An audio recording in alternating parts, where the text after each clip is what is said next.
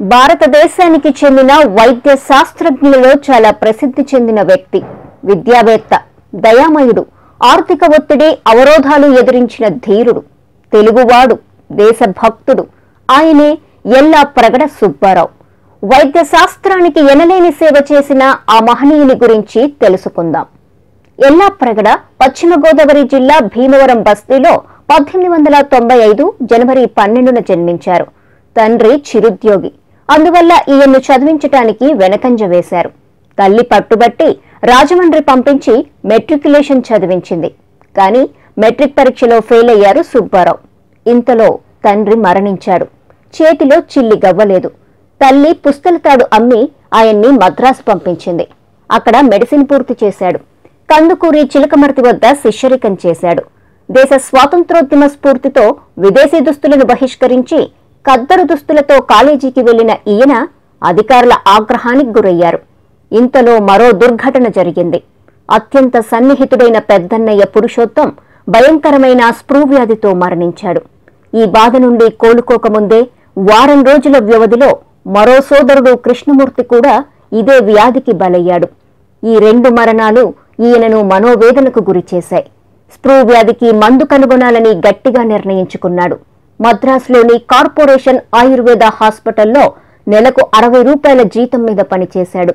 విదేశాలకు వెళ్ళి పరిశోధనలు చేయాలని వైద్య శాస్త్రంలో అనేక రహస్యాలను వెలికి తీయాలనే దృఢకాంక్షను బలపరుచుకొని అమెరికా వెళ్ళాడు అక్కడ కొన్ని రోజులు ఆసుపత్రుల్లో మూత్రశాలలు కడిగి పొట్టపోసుకున్నాడు.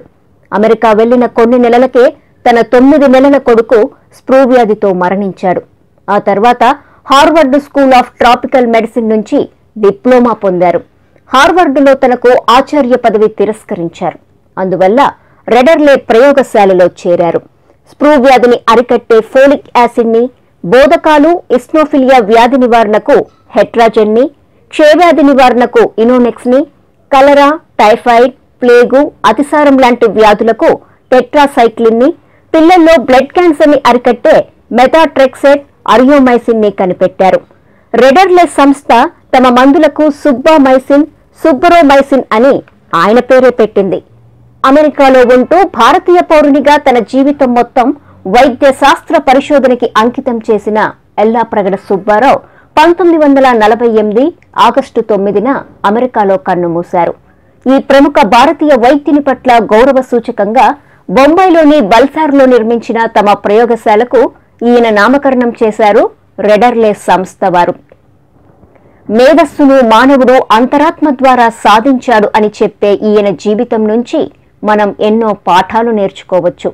సామాన్యులుగా పుట్టినవారు అసామాన్యులుగా ఎదగవచ్చని ఏదైనా సాధించాలన్న పట్టుదల మనలో ఉంటే దానికి పేదరికం అడ్డు కాదని పిల్లలు విద్యావంతులుగా అవటానికి తొలిమెట్టు అమ్మేనని. సమస్యల నుండి మానసిక సంఘర్షణ దానిలో నుండి ఎలాగైనా మనం అనుకున్నది సాధించాలన్న కసి పెరుగుతాయని. మనం ఏ దేశంలో ఉన్నా భారతీయుణ్ణి అన్న విషయం మర్చిపోకూడదని తెలుపుతుంది ఎల్లా ప్రగడ సుబ్బారావు జీవితం. ఆ మహనీయుని జీవితం అందరికీ ఆదర్శం కావాలని కోరుకుంటూ ఇలాంటి ఎంతో మంది గొప్ప వాళ్ళ జీవితాల గురించి ఆకెళ్ళ రాఘవేంద్ర యూట్యూబ్ ఛానల్లో ముందు ముందు తెలుసుకుందాం.